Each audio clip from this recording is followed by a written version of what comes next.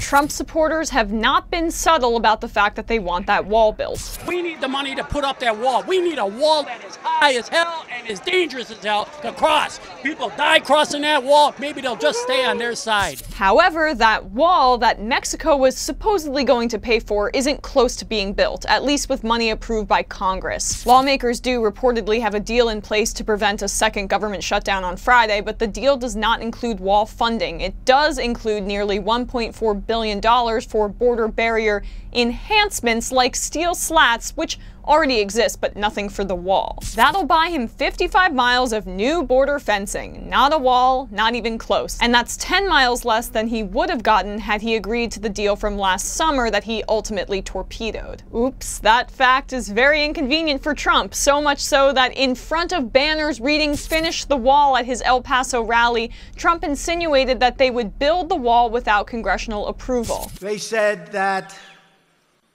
progress is being made with this committee. Just so you know, we're building the wall anyway. They say that progress has been made with this committee.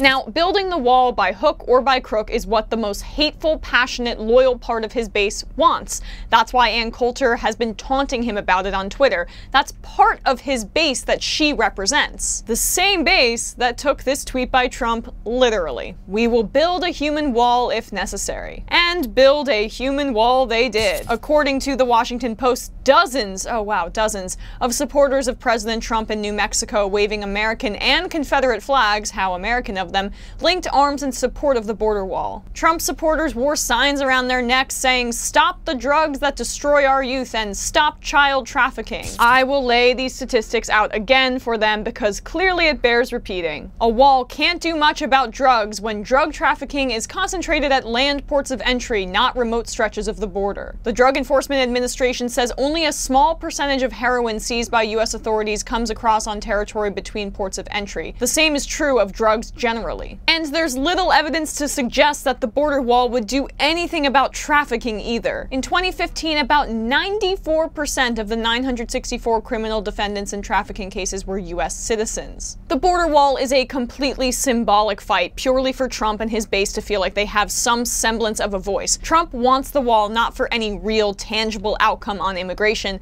but for a real tangible outcome on his poll numbers with his base. Because if he has a strong base, he has a strong chance of re-election, and that's why Democrats shouldn't move an inch on his wall funding. He promised a wall would be built. Make him betray his base.